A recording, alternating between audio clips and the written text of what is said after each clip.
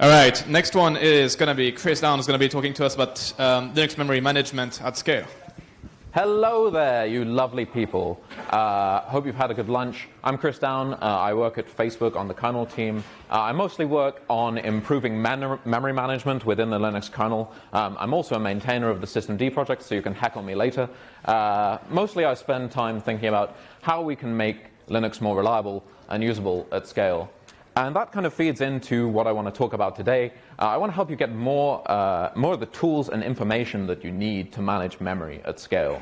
Um, there are many misconceptions among even senior engineers about the primitives that we provide uh, around memory and the kernel and what they are good and what they are not good for.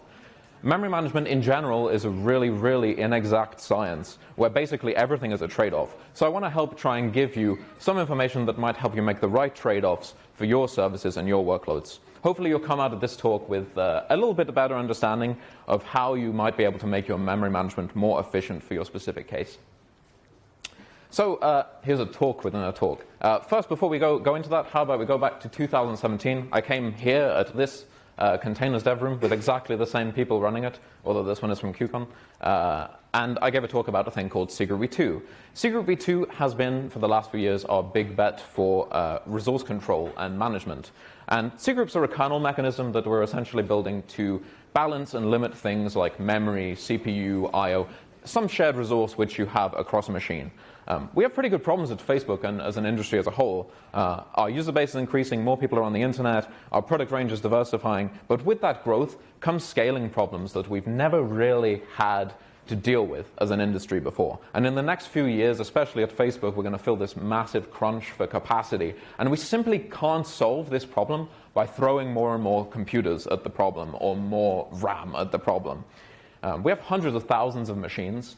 Um, any small loss in one of those machines represents a huge absolute loss in resources for the company. So we need to use more resources more efficiently, and cgroups are a huge part of that. It's also really important because a lot of huge site incidents and outages, not just for Facebook, but for people like Google, LinkedIn, all the big sites, are caused by lacking resource control.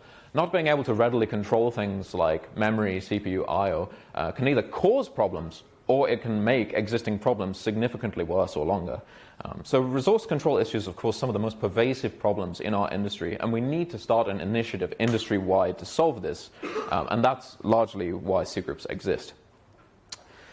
Two years ago, it was kind of, well, I think we're in Europe, so this is an appropriate thing to show, but uh, two years ago, it was a totally different story, though, right? We, we really only had one user of cgroup v2, which was, was us. Like, not even Google was using it, and they like to use everything. But we, we were really the only people using it. Um, we had a bunch of different primitives that we had just found, uh, found out about and were using and uh, invented. Um, but when we actually came to use them, it, it kind of went a little bit like this. It's not completely wrong. Like, what we got is like somewhat there, um, but we've got to work out in what cases do we want to make the primitives a little bit more round, and in what cases do we want to make the operating system, you know, a little bit more square. So finding the right trade-off takes a lot of production experience and a lot of production experimentation. Another problem is that cgroups, uh, literally one of their jobs is to limit resources artificially within the machine. Um, and one of the things that happens is that that can cause another resource to then become oversubscribed as a result. For example, if you artificially limit memory, say you limit something very tightly, uh, an application that should use one gigabyte and you put it in, say, 200 megabytes, all that's going to happen is you start hitting the disk a lot because you're going to start to have to swap things out. Even if you don't use swap, you're going to have to end up taking stuff out of the page cache. So you're going to end up hitting the disk more often to do these things. So you end up just with essentially the shittiest memory that money can buy in the form of a disk. Um, so as such, we need an underlying operating system uh, that mitigates these problems and allows us to limit these things without affecting other parts of the system. This is also why, in a talk about memory, you'll hear me talking a lot about I/O in this talk. Disk I/O uh, is is something you really need to have control over if you're going to limit memory. Without I/O control, memory control is really just an academic concept. It doesn't. If it's an effective memory control and you don't have any I/O control at all, you're just going to destroy the machine. And the existing solutions we have in I/O control, which don't uh, in memory control, which don't affect I/O, it's mostly because they don't work. Another problem is that while we've had cgroup v2 kind of academically working like this for a while, uh, for the past few years, a major focus has been issues that it brought up elsewhere in the kernel. Um, because cgroup v2 actively limits things effectively in a way that we've never really had before, um, it's brought up a lot of issues in the kernel and limitations that we've had to either fix or work around. Um, there's not really enough time in these 30 minutes to go over the cases that we've had, um, but if you're interested, I do go into them in detail in my talk at SRECon from last year. Um, we found and fixed issues all across the kernel, from kind of the I/O stack to file systems to memory, just to make this work and make resource control not break down under scrutiny. And a huge amount of our time has been invested in that kind of stuff. So how about we kick off kind of the main part of the talk now? I've got all the disclaimers out the way um, with, by discussing some of the fundamentals of Linux memory management. So uh, these are pretty important to go over, even though some of you may already know most of this. Um, because if we, if we don't agree about this, then the whole rest of the, the talk is going to absolutely be completely useless. So one thing that's really critical to understanding Linux memory management is that Linux has these different types of memory. From the CPU's perspective, there's really not much difference. It knows a little bit, maybe. It knows something about permissions. It knows something in the MMU. But it doesn't really know uh, what the semantic intent of your memory is. Um, for example, for Linux, anonymous memory is, as the, as the name would imply, memory which has no backing storage. It has no name. Uh, usually things which you allocate with malloc or mmap, map anonymous, stuff like that. Uh, most people also know about cache and buffers, two sides of the same coin. Um, but if you ask most Linux users what they think about like buffers and caches, they will say it's reclaimable. Um, and I'm sure most of you would agree with that. But the problem is most people's understanding of what reclaimable means is, is a little bit off. Um, it, it, doesn't mean that you can reclaim it right now. It means that you might be able to reclaim it, if you ask nicely, in about five minutes, maybe. Uh, for example, if some application is like hammering the shit out of some file, we're very unlikely to evict that from the cache. And the kernel knows this. It's not going to keep on evicting that from the cache when your system won't be able to make any forward progress. Uh, this can cause some confusion when people inevitably ask, and do ask a lot, why did my system run out of memory when I got so much free memory available? And the answer is, well, you know, it's not actually free. These things do serve a purpose, um, and we can't always trivially free them. Uh, so we'll come back to more of these kind of cases which are non-intuitive in a moment. The fact that caches can be essential is another example of why RSS, the resident set size, a metric that we love to measure, is pretty much bullshit. Uh, and we measure RSS because it's really easy to measure, not because it represents anything useful, which is just fucking, I don't know what the fuck that's about, but as an industry, we've got to stop this shit. Um, RSS often skews uh, a lot of attention to very, very specific types of memory. It skews a lot of it to file map memory and anonymous memory. Um, we forget, though, that many workloads simply cannot operate without these disk caches, without these uh, page caches. Um, and if you take them away, they wouldn't be able to run. In one case inside Facebook, a team which for years had thought that their operating footprint was like 100 to 200 megabytes, discovered through the metrics which I'm introducing in this talk that the actual footprint was on the order of more like 2 gigabytes. Uh, and this is one of the reasons why RSS as a metric just doesn't make a whole lot of sense. So this brings us somewhat, neatly onto swap, a completely uncontroversial topic which no one has any strong opinions on. Uh, swap is really widely misunderstood. Um, a lot of people think that swap is kind of pretty much irrelevant nowadays. Um, with gigabytes of memory. But this is kind of a strange opinion because uh, Swap still does a lot of good stuff, and most of the things that it does well, you really can't get them any other way. And for the stuff which it does poorly, and it does do some stuff poorly, you can mitigate it like there are ways to get around that. Um, usually these discussions kind of hinge on misunderstandings about swap is actually for. Using swap is almost all about promoting this positive memory pressure, um, using as much memory as possible, and it almost has absolutely nothing at all to do with being a slower RAM or like emergency memory, which is what people tend to codify it as. People also have this really, really strange idea that if you run without swap, when you encounter memory contention, disk IOs don't happen. I don't know how people got this idea, but obviously that's not true, right? We have to evict something, and what we're going to evict is really hot page cache pages. So you're going to end up hitting the disk for those instead. You just end up making the reclaim less efficient. Um, even worse, like we end up reclaiming things which we otherwise wouldn't want to reclaim. You're reducing the amount of things which we can reclaim. Um, so these kind of misunderstandings have really hobbled Swap's reputation and led to this belief that it's not useful in 2020, which is not really true. So if swap isn't a mechanism to expand your RAM, then what is it? Well, swap allows reclaim on types of memory which otherwise would be locked in memory. Uh, that is, it provides the backing store for things like anonymous memory, where we simply don't have anywhere else to really store them except for physical RAM. Without swap, it's really, really hard to run hot on memory. It's hard to run memory bound workloads because we almost immediately go from this state of the system being totally fine, running at the maximum capacity, to oops, you've gone one page over and now the system is kind of in the ground. Um, and that's not really how anyone wants to run a system. Um, another thing is that if, you, if you've been compiling things, you've probably seen like this make j cores plus one stuff. It's pretty much what everyone compiles like. Why do we run with cores plus run? Why don't we run with cores? Well, the reason is because we want to promote a little bit of positive pressure, right? In case one of the threads starts doing a little bit less, we want to make sure that the cores are being totally utilized all the time. And swap allows us to do the same thing with memory. Um, this, this comes back to kind of what I was saying about as the operating system, we want to make the most efficient use of memory possible. And we want to do this without impacting system latency too much, um, which is kind of impossible if you don't have swap. Without swap, these memory contention increases happen really, really suddenly. And often there's no way for your system to recover from that state. Um, that is, when we go over the edge, we go really over the edge, and often your system can enter some pathological outcome as a result. Uh, swap does come with some trade offs. I mentioned there were kind of some downsides. This is a really, really long post. If you're of the perception that uh, you know, swap is not useful, I really recommend reading it, and feel free to send me an email or whatever um, if you have some comments one reason why people don't like swap is because they think the oom killer will come to their rescue. Uh, the oom killer is the out of memory, uh, it handles out of memory situations in Linux, and it's essentially a massive, massive fucking cannon that you point in the direction of pro- some process and you pray that it was facing the right way.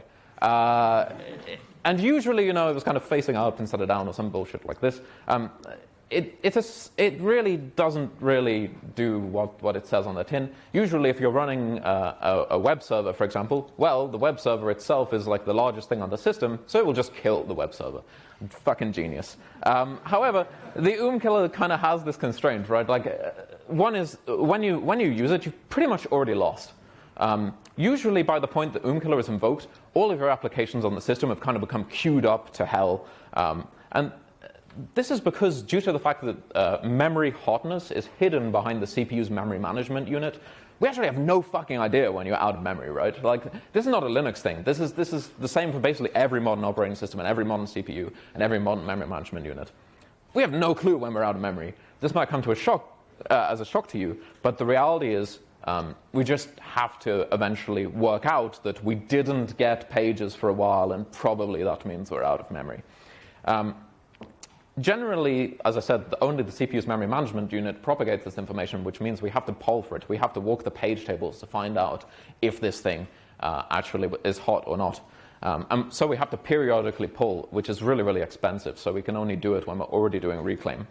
So the problem here isn't really knowing when our memory is full, because that is the state we want to be in most of the time. But uh, what we want to know is not what's resident, but what we could take out of memory if we had to. And that's something which is hard to know ahead of time. Uh, as you'd imagine as well, we only really want to invoke the oom killer when we really are out of memory. Um, this means that there can be a really, really long delay from you running out of memory to the oom killer actually being invoked. Um, so we have to already go through a lot of reclaim attempts, already through a lot of iterations to, for it, the system to finally decide we're out of memory and I should actually kill something. So relying on the oom killer to do this reliably, just because you don't have swap, is really not true. And uh, I'll show some graphs at the end to show that. Um, our goal in general should be to avoid to invoke the oom killer at all, and I'll go over how we uh, achieve that in a, in a slide or two. The second problem with, with the oom killer is that it's not really configurable. Um, we have this amazing, uh, amazing proc file called oomscore and oomscore adj for oomscore adjust. I love anything in the kernel which is called a score because it means nobody knows what the fuck the numbers mean. Uh, and this is kind of true. Like you kind of set it to like a thousand or like minus a thousand or like some value, and you pray that it's bigger or lower or something than another one, but you really don't know like how the oom killer will react or what it will kill. Um, so it often results in the oom killer completing, uh, completely killing the wrong thing, um, and then kind of only eventually randomly getting the real thing which is causing the problem on the system. So I mentioned this whole OOM killer shenanigans works based on Reclaim. Well, how does Reclaim work? So Reclaim is this process of trying to free pages. Um, there are multiple different ways Reclaim can happen. Two common ways are this uh, kswapd reclaim, and another one is called direct reclaim. kswapd reclaim is done in a background kernel thread. It's kind of not in part of any part of the application lifecycle, and essentially we're trying to proactively free memory when we go over some threshold of used memory on the system. Um, this happens impressive. This happens uh, passively when like you're past say 97% or whatever of your memory, and we try and prune it back down a bit. Having this happen prevents going into this next and kind of scary phase of reclaim called direct reclaim. Uh, direct reclaim requires suspending the application which is requesting memory, uh, which is really bad for latency because we've now tried to request and there's no free pages available. So you, your application has to wait and be suspended while we try and go get some. This can re- result in your services having actually measurable freezes. Or if you're an Android user, you click like buy now and your whole phone freezes. That's not a good experience, right? Um, so we want to avoid that where possible, and that's what the kswapd thread is for. Reclaiming some pages may also be easier or harder than others. So when we talk about reclaimable memory, like I mentioned, um, some page tape, uh, types may be reclaimable, just not quite right now. For example, some cache pages may be so hot that we don't want to evict them because we know the system performance will tank. Um, the same goes for anonymous pages, which, if you have no swap free, they have no place to go, so they're essentially locked in memory unless the application itself does something about them. Some page types might also be reclaimable right now, but we can't just reclaim them. We have to do something else. For example, if you have dirty pages, we have to flush out the modified data to the disk before we can reliably reclaim the page. Uh, otherwise, we'd lose the modifications in the kernel, uh, and then we would kind of have data loss, which is not great. So sometimes it's not as easy as just reclaiming pages. It, it kind of gets a little bit complicated. In practice, this variance and unpredictability in reclaiming is typically really hard to tell ahead of time that we are running out of physical memory. But if we wanted to know now, how would we go about it? Um, if I were to ask you if your machine was overloaded, typically the kind of things, depending on your level of seniority and experience with Linux, you would say to look at are like, you know, the most basic one is free memory. But free memory is kind of a lie because we don't really know how much of that we can take away. We don't know how much of that we could reclaim. The same goes for uh, the slightly more correct but also incorrect mem available in proc uh, VM info. Uh, because that is kind of basically an estimation just based on page type. Um, if you're a bit more senior, you might talk about something like page scans. The problem with page scanning, which is how often we're iterating to try and free pages, is you can't really distinguish from some pathological behavior where the system is about to fall over from fairly efficient use of the system. If you are efficiently using the memory on the system, you will also have a really high page scan number. Um, so it's really hard to tell what the outcome of that is. But usually, all of these metrics we come up with are, are just approximations of memory pressure. Um, so, so, what is memory pressure? What do we really mean by that? Um, well, we've never really had a metric like this in the kernel before. Um, we have many related metrics, like the ones I've just gone over, but even with all of these, it's really hard to tell real pressure from efficient use of the system. So PSI uses metrics which are specific to a particular resource to tell you um, if that resource is becoming oversubscribed. Um, for example, in memory, we use the amount of time which we were stuck doing this pure memory work um, to work out, for example, if I had more memory, I could probably have done 0.21% more work in the last 10 seconds.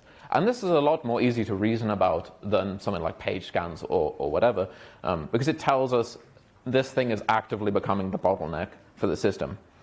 Um, mostly, like these kind of things tend to be things like refaulting, like um, doing I/O as a result of having to repage pages uh, sorry, refault pages which we've just paged out because the system is churning over and over again. Um, but it's not only for memory, we also have it for CPU and for I.O. as well. And these can also be really useful to you in developing high reliability and high availability applications. For example, um, if you want to know in advance whether your system is about to run out of memory and you might want to do load shedding or uh, bl- blocking new requests from coming in, uh, without having to pause the process of your uh, pause the progress of your application entirely. Um, so it can be really useful to do that. And you can't just do this by looking at free memory or page scans or stuff like that. These PSI metrics are also what powers our pre-OOM detection. Um, we do this as part of a project which we've open sourced called OOMD. OOMD is a user space OOM killer with a really fine-grained policy engine, so no more of this kind of OOM scores stuff. Um, this allows you to encode policies about what to do in certain situations. For example, we run Chef on our machines to ensure that uh, we have an up-to-date system. But while Chef is important, if my web server is tanking because you know we are running out of system-wide memory, I am okay if we don't run Chef for like five minutes. That's fine. That's not going to really be a problem. Um, and the same goes for other background work which isn't in the critical path. So OOMD allows you to encode these kind of rules about what to do um, based on these pressure metrics. For example, we can monitor a best effort application's memory pressure, and if it starts to cause contention for others on the machine, we can dial it back or kill it completely before performance degrades elsewhere. And using these metrics, we can prevent OOM and avoid invoking the OOM killer uh, entirely. And we have a lot more reliable uh, behavior of the system when the system is at the peak of memory. Another thing which you'll have seen me talking about if you saw my early cgroup 2 talks was our limits. That's this memory.high and memory.max stuff. Our initial proposal for cgroup v2 was to limit non-essential work on the machine, but this has uh, a few fairly fundamental problems.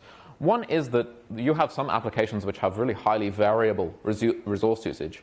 Um, and sometimes that's okay. Sometimes those applications do, you know, genuinely, for some genuine reason, have variable resource usage. But it's hard to set a limit for those because if you set it too high, most of the time the application is essentially unprotected. And if you set it too low, once the memory spikes, you'll end up um killing the application. So it's really hard to work out what to do there. Another similar problem is that the resource usage of some processes is really heavily tied to some other process on the machine. For example, if you have an application which has a dedicated cache, say it's like a, something which does service lookups, and it has a cache of the lookups it's done recently, how much memory it uses is probably a factor of what it was actually asked to do by something else on the machine. Um, so it, it's kind of hard for those service owners who own a service which is so dependent on another process on the machine to reason about how much memory should my application use. What people really know is how much memory does the thing which I want to run on the server use? How much memory does a web server need? How much memory does a database need? Those are things we know. We don't really know how much does this service lookup daemon need if I do this query and so on and so forth. So for that reason, we've been moving more and more towards these protections. That's this memory.low and memory.min stuff. Um, Usually these are kind of more uniform and a little bit more static. Um, the way these work is that you define a threshold, say like 28G. Say you want to uh, protect 28G for your main workload. Um, so say HHVM, our web server, um, needs that much memory. You set memory.low in there, and we will, if HHVM requests it, aggressively take memory away from other things on the system until HHVM gets that amount of memory. We don't prohibit other applications from using it. It's not a hard reservation, but if it turned out that HHVM does start to need them, we will aggressively start to give it back memory from other people. And this allows significantly more work conservation.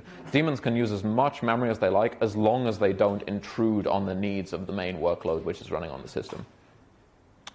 So this is all well and good. I, have gone through a whole lot of primitives. Um, but how do we actually intend to use them to build a coherent system? Well, this is where this fbtax2 asterisk, we don't really know what we're going to call it. Uh, this is where fbtax2 comes in. fbtax2 is our overall project for resource control at Facebook. Um, cgroup v2 is certainly one of the things which we need to do that, um, but it needs to come with an operating system which supports its goals, right? Uh, one concern in fbtax2 is to stop background services that the main workload doesn't rely on from affecting the workload running. For example, if metric collection or chef go crazy, we want to make sure that we have them dialed back and we can deal with that. We also want to have reasonable behavior if we start to exceed the capacities of the host. I mentioned we want to run as hot on memory as possible, right? So that comes with the risk of going over the edge, of, of uh, going a little bit too far and taking, taking too much memory. So we need to have reliable behavior when we do that. It's also uh, really important that we keep our efforts usable and lightweight. It's no good if I can now give you 10% more ability to load your machine if our solution also takes 10% of load to do that. And it's also no good if I produce a technically amazing solution, but nobody wants to use it because it's garbage.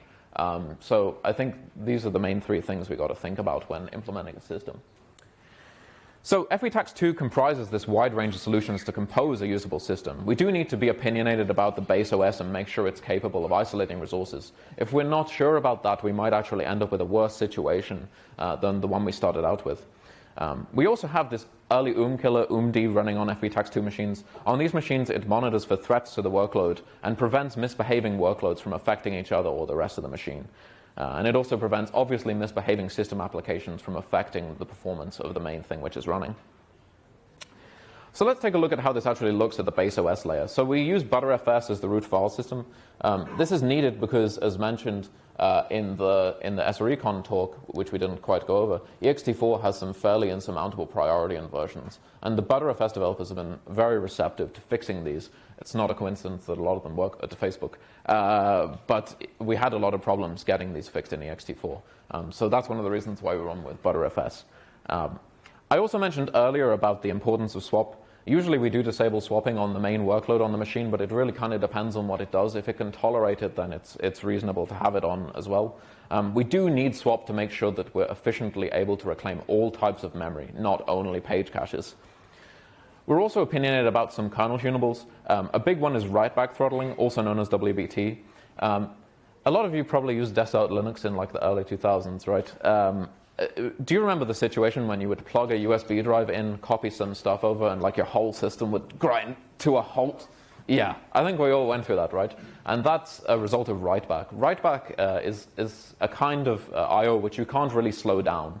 Um, so what happens when you're doing that is like um, this, this I/O becomes the most critical thing on the system, blocking everything from, from else from operating. Um, so write-back throttling is something that enables uh, stopping those I/Os before they even go in progress. C-groups are the bread and butter of resource control. As such, it also makes sense to go into our default choices in terms of configuration there. Um, so to get sensible resource control, it's important to have clearly defined roles from the top level so that you can delegate resources effectively. For example, we have system.slice, which is a, uh, a C group for best effort services, things which are nice to have, but which we could dial back at any moment if the machine needs it. Uh, we also have host critical.slice. These are things which the host needs to operate. Also things which we might need if we need to go and debug something in an emergency, even if the machine is overall unhealthy. And then we have workload.slice. Workload.slice is where the main thing which you're running on the machine lives. Um, for example, HHVM for a web server. Um, and it's the thing we really want to prioritize the running of on this machine. Um, this is actually how this used to look. Um, you might notice this memory.high and memory.max stuff is back here. Um, this, so we're only punitively limiting work. Um, however, this is fairly brittle. Like system.slice memory could legitimately spike at any point, uh, and we might end up slowing down or killing things in system.slice, even when we didn't really need to, even when the workload didn't need that. It's also really absolute. Um, it, it, doesn't allow ballparking any configuration. You say like, you don't say, well, my, my thing needs about four gigabytes of memory to run. You say, my thing needs four gigabytes of memory to run or I die. That's not usually how anyone wants to live their life, right? I mean, uh, you need to be able to have some wiggle room and some amount of configurability there. So this is why we've changed towards using protections instead of this, these artificial limits. So that's this memory.low and memory.min stuff. This is kind of a guarantee that we have this memory available for the system. We don't prohibit others from using it, um, but if the workload were to then need that memory, we will aggressively take it away from others. Um, you'll also notice the addition of IO.latency. I didn't really have time to go into it in this talk, but I mentioned you need IO control uh, as a corollary to memory control. If you don't have it, your memory will just turn into IO, and then the whole system kind of just grinds to a halt. So having these completion latency guarantees, write-back throttling, and OOMD kind of prevents these bad applications from overrunning the machine. Uh, as the final thing, I mentioned I wanted to talk about production success stories. In this case, we, uh, this is a little bit of a scary graph, but I'll go over it with you. Um, this purple line is without FBTax, and the green line is with FBTax. Um, the essential point is this. With a normal OS setup, with no swap and just using the OOM killer, the system stops working for literally like on the order of 20 minutes. Um, this is not even like a weird or strange, uh, this is just, just a web server. Um, with FBTax 2, we actually launch a leak, a memory leak, repeatedly, uh, and the system is not affected at all. What we're doing here is launching a, this, uh, this memory leak inside system.slice repeatedly and trying to get it to take down the main workload, but it cannot do so because OOMD just keeps on killing it over and over based on the pressure metrics. In the other case, the OOM killer thinks the system is making forward progress because it is killing something, but it's killing the wrong things repeatedly. And even with using OOM score adjust, this thing doesn't really get any better. one thing I'm pretty excited about is that the tools and techniques in this talk are uh, things that we've never really had in Linux or Unix before. Um, and I'm hoping that some people in the audience here will be able to build some of the container engine stuff and some of the process management stuff which we need based on them. Um, this is one of the first places where we've presented this work uh, cohesively like this. Um, so I'm really looking forward to seeing uh, what we can build in the future based on these. Uh, I've been Chris Down, and this has been Linux Memory Management at Scale.